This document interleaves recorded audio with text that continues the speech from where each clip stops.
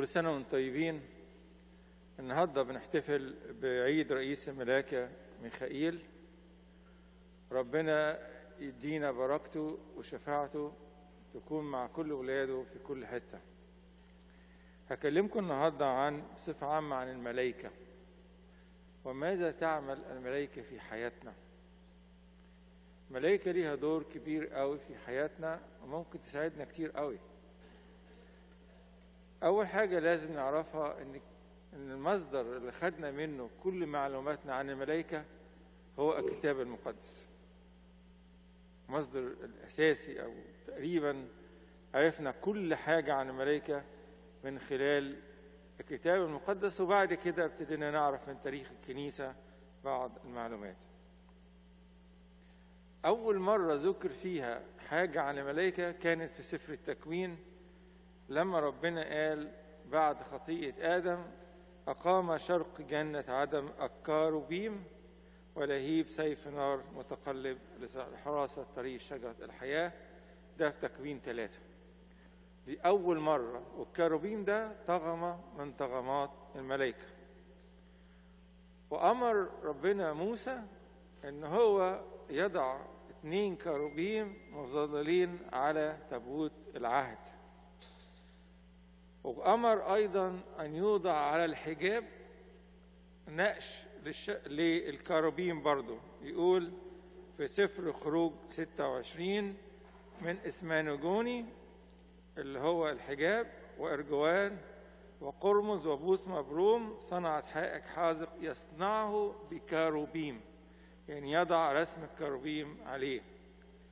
أيضا سليمان لما عمل الهيكل برضو نقش الكاروبيم على الحيطان الهيكل زي ما كانت منقوشة على في في خيمة الاجتماع. في ثلاث أسماء بس من الملائكة ذكرت في الكتاب المقدس والباقي الباقي جايبينه من التقليد بتاع الكنيسة اللي هو ميخائيل وجبرائيل ورافائيل. دول الثلاثة بس اللي ذكرت أسمائهم في الكتاب المقدس. وطغمة الشاروبيم والسرافين دي موصوفة برضو في الكتاب المقدس فيقول أشعية عن السرافيم بأن له ست أجنحة باثنين يغطوا وجوههم واثنين يغطون أيديهم وباثنين يطيروا يبقى اثنين بيغطوا رجليهم واثنين بيغطوا وجوههم وبيطيروا بالاثنين التانيين.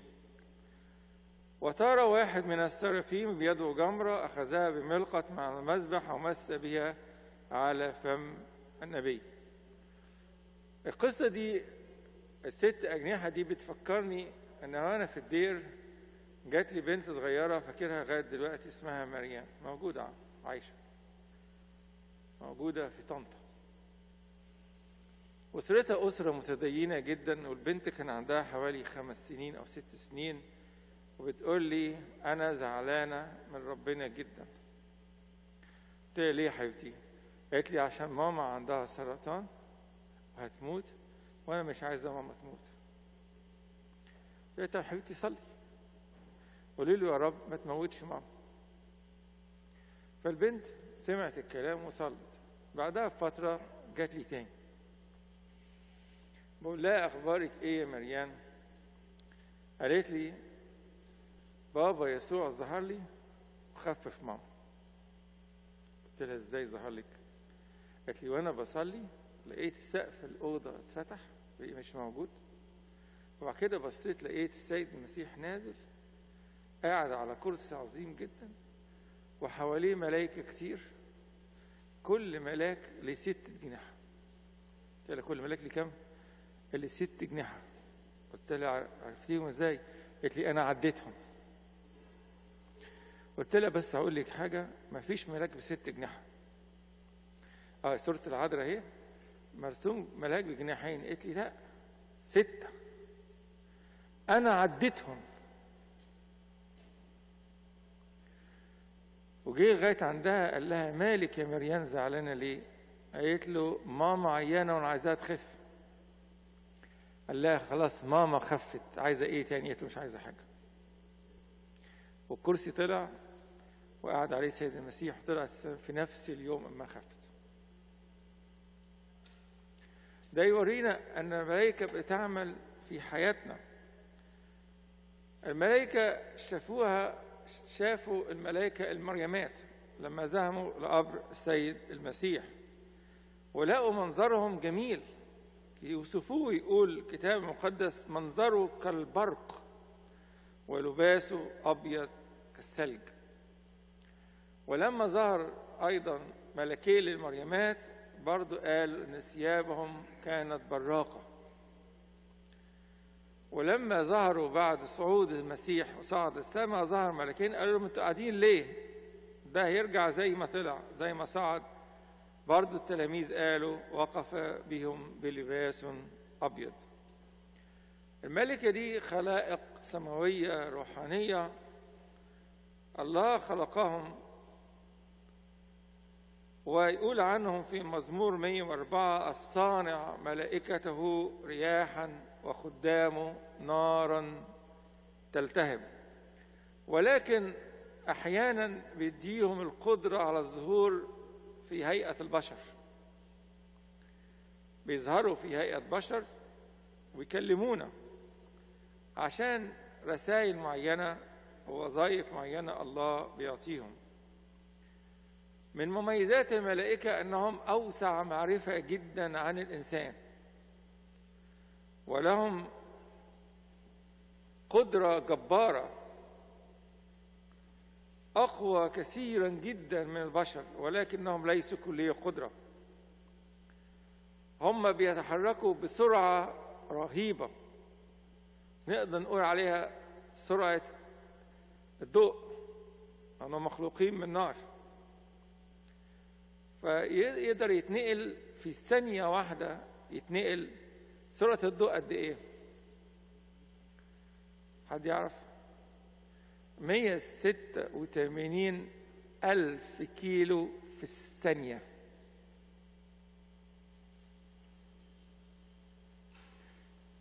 فمن هنا للقاهرة قد إيه؟ مفيش. أقل من جزء من الثانية تلاقيه اتنقل في أي حتة عايز يروحها.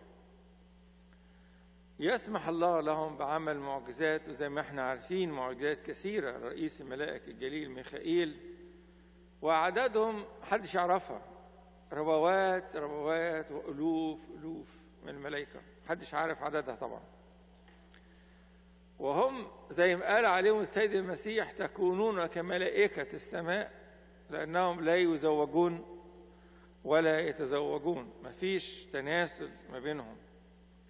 والله بيعطي كل واحد من الملائكة دي مسؤولية معاه وهم رتب ودرجات. رتب ودرجات. بنسمعها في القداس الكراسي والربيات والقوات رؤساء الملائكة والملائكة والشربين كل دي درجات في الملائكة. وكان الشيطان الذي سقط كان الكاروبيم. طغمة الكاروبيم دي بيسموها الكثير المعرفة. طغمة الكروبيم دي كثير المعرفة كلها حتى الكنيسة ترسمها جناحتهم كلها عيون وجسدهم كلهم أنهم كثير المعرفة. ويقول عليه في سفر حسقيال أنت الكروب كروب جمع كروبيم أنت الكروب المنبسط المظلل. وأقمتك على جبل الله كنت بين حجارة النار تمشيت. أنت كامل في طرقك يوم خلقتك حتى وجد فيك إثم. كان كامل في كل طرقه ملائكة كانوش يخطوا ولكن وجد فيهم اسم فكروا وأخطأوا. خدمة الملائكة بتتنوع كثيرا خدمة الملائكة ما بين التسبيح وده العمل الرئيسي بتاعهم ويبلغوا رسائل الله الذي يريد أن يرسلها وينفذوا مشيئة الله زي ما ربنا يأمرهم لأنهم أرواح خادمة مرسلة للخدمة. بيعاونونا بيحمونا بينقذونا بيرشدونا وممكن يشجعونا ويوضحوا لنا مشيئة الله وينفذوا مشيئة الله وأيضا يحرسون. يحرسون. وبياخدونا ويطلعونا السماء. زي ما قال حملة الملائكة روح لعازر المسكين إلى حضن إبراهيم. كما أنهم أيضا يفرحون بتوبتنا. بيحبونا. يقولوا لدانيال أيها الرجل المحبوب محبوب من الله بالتالي هو محبوب منهم لما تكون أنت محبوب من الله تبقى أنا فاكر يحكوا عن القديس يوحنا القصير أو يسموه يحنس القصير. يقول لك وهو نايم لما تكون الدنيا حر كان بيجي له ملائكة يهوله وهو نايم عشان الدنيا حر. ده إيه العز ده؟ لا تقول لي بقى تكييف ولا تقول لي هوايات ولا مراوح الملائكة بيجوا يهوله وهو نايم عشان الدنيا حر. ودي مذكورة في قصة حياة القديس يوحنس القصير أو يحنس القصير. الملائكة كان ليهم دور كبير جدا في حياة السيد المسيح. شفناهم ملاك يبشر بموته متأسف بولادته ملائكة تيجي تخدمه بعد التجربة على الجبل في بستان جسماني برضو الملائكة كانت تخدمه. ملائكة دحرجت الحجر عن فم القبر. ملائكة بشرت المجدلية بقيامة المسيح. وربنا مرة قال لبطرس أتظن إني لا أستطيع أن أطلب إلى أبي فيقدم لي اثني عشر جيشا من الملائكة؟ وأيضا الملائكة سوف تأتي مع المسيح في مجيئه. الثاني ربوات ربوات وألوف ألوف من الملائكة. الملائكة ليها دور كبير في حياتنا. والملائكة.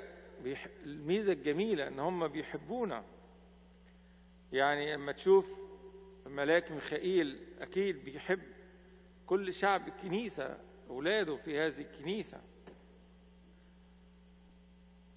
في الإصحاح العاشر من سفر أعمال الرسل يظهر الملاك لرجل تقي اسمه نيقوديموس ويقول له يا نيقوديموس روح استدعى واحد اسمه بطرس ده هيجي وهيكلمك بيه كلام سوف تخلص. ولما نخطي ممكن ربنا يرسل الملائكة لكي يعاقبنا. زي ما أخطأ داوود وعد الجيش بتاعه وافتكر افتكر إن هو بقوته بينتصر. ما مش بيتكل على قوة ربنا لكن حس إن الجيش بتاعه قوي وعدده كبير وانه بينتصر بجيشه. شوف يقول الكتاب إيه. وضرب داود قلبه بعدما عد الشعب فقال داود للرب قد أخطأت جدا فيما فعلت والآن يا رب أزل اسم عبدك لأني انحمقت جدا. فربنا بعت له جهاد النبي وقال له اختار ما بين ثلاث حاجات وعقبه فداود قال أختار أن أقع في يد الله ولا أقع في يد إنسان فجاء عليه وباء. قتل سبعين ألف. قتل سبعين ألف رجل. يقول لك وبسط الملاك يده على أورشليم ليهلكها. ولكن الله رحوم. وإحنا كلنا بنصرخ له يا رب ارفع هذا الوباء. فقال الرب للملاك لكن ندم الرب على الشر وقال للملاك المهلك كفى. عايزين نقول يا رب قول بقى كفاية كده. كفى يا رب هذا الوباء.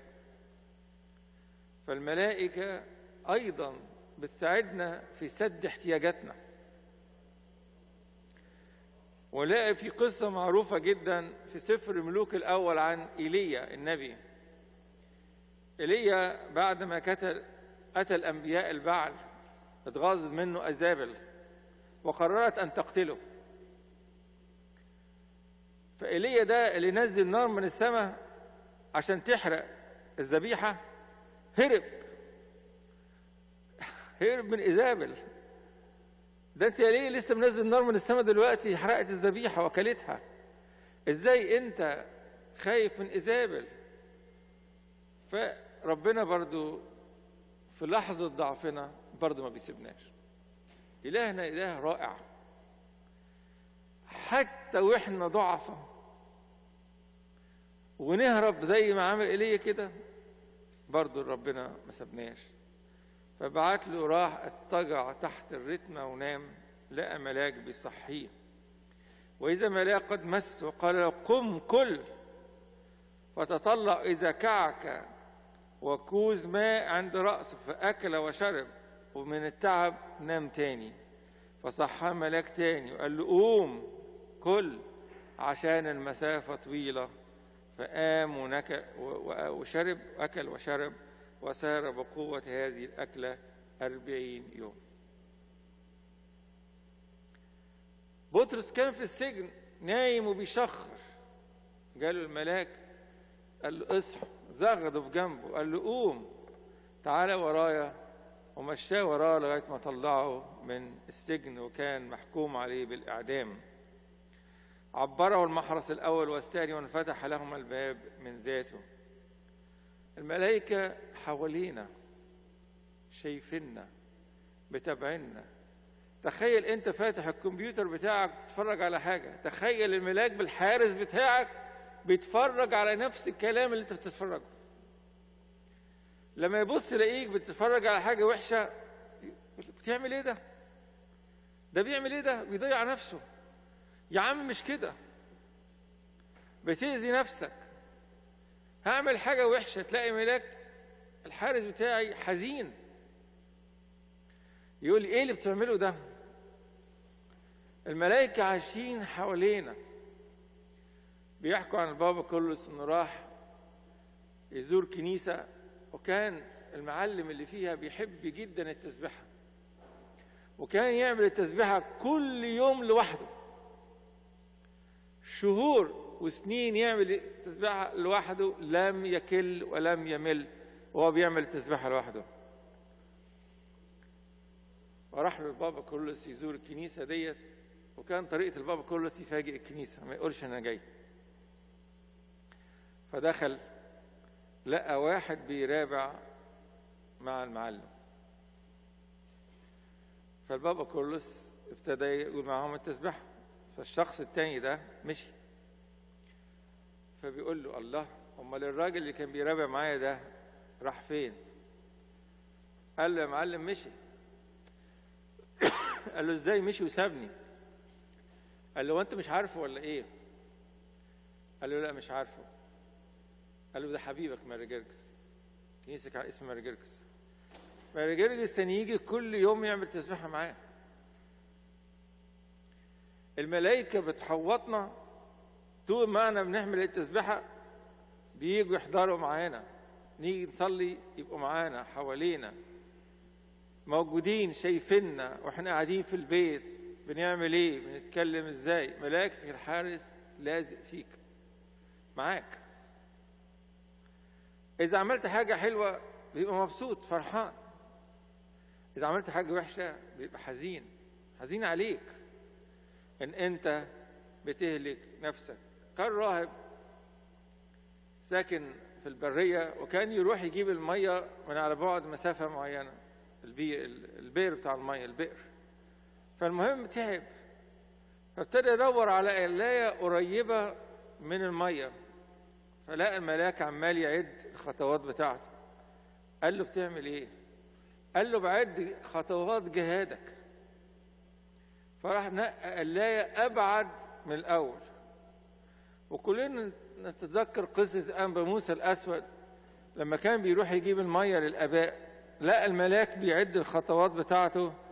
قال له عشان ربنا يديك أجرة على تعبك اللي بتتعبه من أجل إن أنت تحضر مية للآباء اللي مش لاقيين يشربوا ومش قادرين إن هم يروحوا يجيبوا المية. عشان كده عايزين وإحنا حتى قاعدين في بيوتنا نتذكر أن هناك جيش من ملائكه حوالينا بيدافعوا عننا. كلنا نتذكر قصة إليشع وجحزي قال له الحق يا سيدي. قال له ملك أرام محوط المدينة وهياخدها وهيقتلنا كلنا. قال له ما تخافش لأن الذين إيه؟ معنا أقوى من الذين علينا. قال له افتح يا رب عيني الغلام لكي يرى.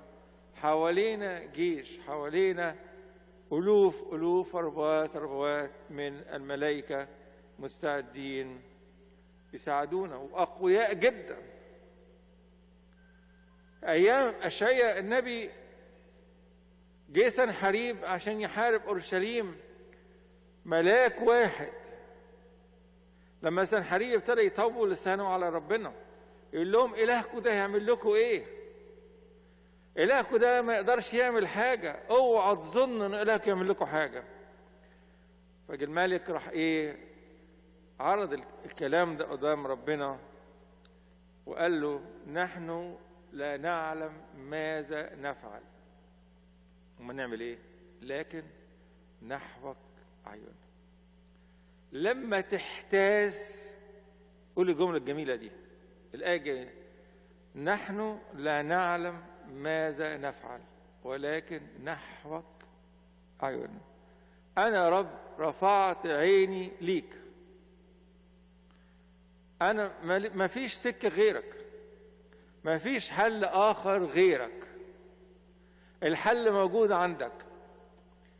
نحن لا نعلم ماذا نفعل ولكن نحوك أعيننا. ففي تلك الليلة يا سلام يا رب على جمالك. في تلك الليلة ملاك الرب خرج وضرب من جيش أشور مئة وخمسة وثمانين ألف ماتوا في ليلة. لما ملك أشور شاف كده خد بعضه ومشي خلاص. انتهت. لما تلاقي رب مش قادر اطلب ربنا قول له يا رب ابعت جيشك يا رب دوت لأن ملاك الله حال حول خائفي. ثق أن الله قوي جدا وأن هناك جيش جيوش ألوف ألوف ربوات ربوات حوالينا مستعدين يدافعوا عنا. بس المهم نطلب نحوك أعيننا. إحنا عيوننا نحو العالم. عيوننا نحو قوة العالم والعلم. على رأي ولد من ولادنا في ثانوي بيقول لزميله أشكر ربنا. قال له أشكر ال science. ربنا إيه؟ ال science. هو اللي عمل لنا الاكتشافات دي كلها. قال له إحنا نشكر الله إحنا كمسيحيين بنشكر الله. حتى لو في حاجات علوم واكتشافات نشكر الله اللي فتح أعين هؤلاء العلماء ليعرفوا هذه الاكتشافات. نشكر ربنا ان هو بيدينا العلم وبيدينا المعرفة. ده بسماح إحنا بنكتشف. نكتشف ما عمل الله؟ كل دي عبارة عن اكتشافات. يقول لك فلان اكتشف مكنة معينة اكتشف يعني حاجة فكرة هو لقطها موجودة. ولكن الله فتح عينه عشان يعرفها. اكتشف دواء اكتشفوا فاكسين. طب ما ده موجود. كل الحاجات دي موجودة. دي كلمة واحدة من ربنا. يا ملاك كف. انتهى الوباء. كلمة. كلمة واحدة. بس نصرخ نطلب نحوك أعيننا. الله يعطينا كلنا إن إحنا نحس بقوة الله ونحس بقوة ملائكته ونحس بإن إحنا مش لوحدينا. حوالينا جيش. المشكلة فينا إحنا مش فيه هو. إحنا اللي بعاد. إحنا اللي بعاد. امبارح كنت بحضر جنازة لواحد اسمه الدكتور مراد. عارف اللي فيكم حضر معانا. كانت في أوجفل. الأخ اللي كان قاعد معاه بقاله خمس سنين بيحكي عنه.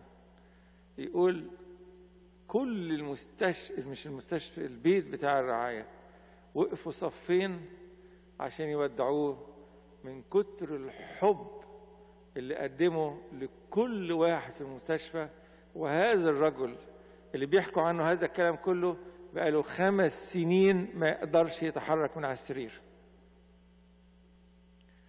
خمس سنين ما يقدرش يتحرك على السرير ولكن بصلواته اللي كان الناس تطلع من الدور الأولاني يروحوا له يا عم مراد يا دكتور مراد صلي لبنتي يا عم مراد صلي لابني لأنه كان رجل صلاة. طول النهار والليل 24 ساعة يصلي. وفي الآخر الشاب اللي كان بيخدمه يقول صلى الساعة الثالثه كان يصليها هو مع بعض هو مش قادر يتكلم ولا الشاب اللي معاه بيقول بصوت عالي والتاني حافظ المزامير بيرددها معاه. فبعد ما تعرفش حصل إيه وبعد كده جاي عمال يشاور له ويعمل له كده. كده. مش الشاب مش فاهم. كده. قال له آه آه الساعة الستة قال له عمل له كده. قال له يا دلوقتي صلاة الساعة الستة يلا نصلي. حياته كان كلها صلاة وهو نايم على السرير. ما بيتحركش خمس سنين. ولكنه غير دار الرعاية كلها. عايزين نمسك في ربنا جامد قوي. عايزين حياتنا تتغير. محتاجين نبقى رجال صلاة. محتاجين بيوتنا تبقى بيوت مقدسة. هل تتخيلوا هذا الشخص؟ أنا أثرت بيه جدا إمبارح. خد المعادلة بتاعت الطب. وبعد معادلة الطب ما أخدها مراته عيد وكان مطلوب منه يروح ياخد التدريب بتاعه في حتة مثلا زي وينيبيج زي ساسكاتون. قال أسافر وأسيب مراتي إزاي؟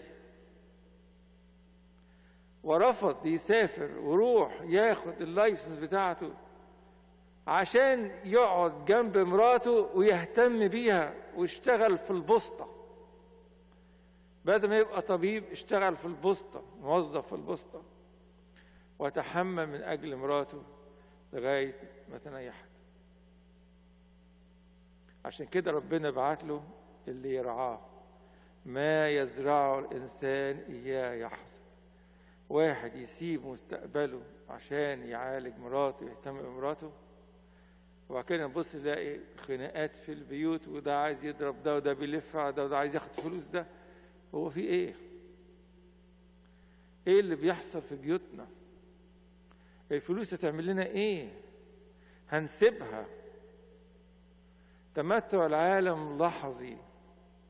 أرجوكوا خلي بيوتنا بيوت صلاة بيوت طهارة بيوت بركة ولان المجد دائما ودينا.